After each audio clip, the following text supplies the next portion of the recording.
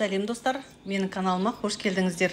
Дәл қазір сіздердің алдарыңызда кешегі бұзаулаған сиырдың сүтінен уыз дайындаймын.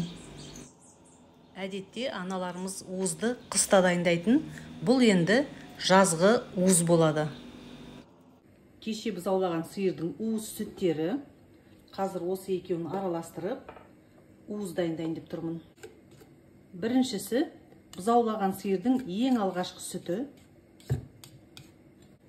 енді осыған екінші күннің сүтін қосамын.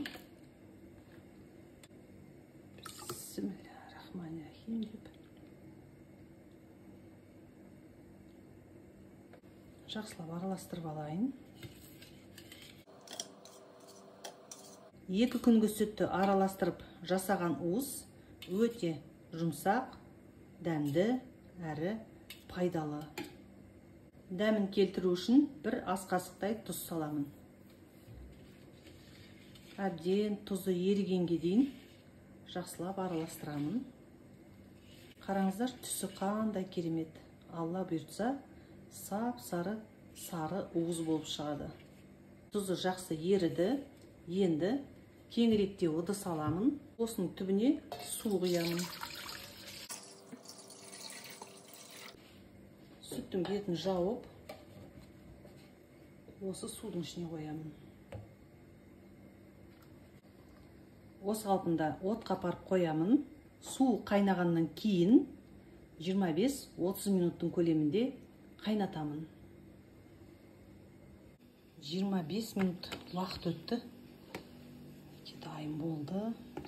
Қазір көрсетіп жіберейін қатқан уыз болды.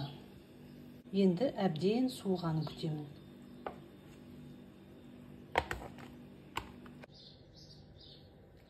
Уыз дайын. Енді ыдысқа салып дастарханға қойып құран оқып дәмін тату қалды. Рахим деп бастайық. Ол үшін ең алдымен уыздың бетіне қара көмірден қойып аламыз.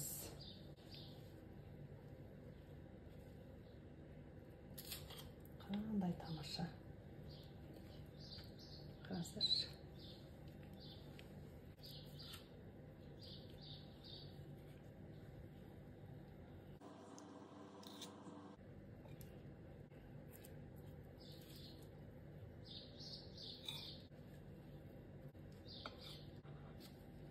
марқұм анашым ең алғашқы бұзаулаған сиырдың сүтінен міндетті түрде уыз дайындап үстіне қара көмірден салып айналадағы көршілерге тарататын.